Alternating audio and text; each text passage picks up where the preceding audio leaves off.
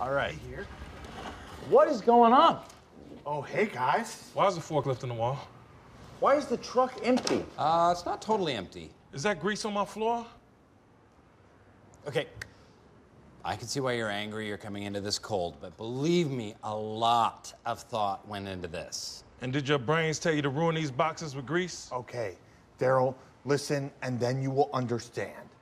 The boxes were ruined during our first trial testing, so now it's cool because we found another use for them. Okay. All right. That's look. All we were trying to do is we thought we could come up with a more efficient way to do things. And? And we did. I don't know. Jim, tell them what it's called. That's all right.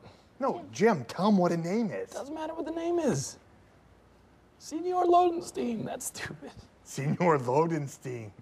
Tell them why it's called that, Jim. That's okay. We're good. Now, Jim, tell us why it's called Senor Loadenstein. Porque es muy rápido. Okay, you know what? It's been a real busy day. What do you say we put all this away? Let me see it. It's, uh, it's in beta testing. Let me see it. Get the thing, go! Lube it up. Kevin, start mopping. Uno, dos, tres. Uh, Yeah, I lost my client.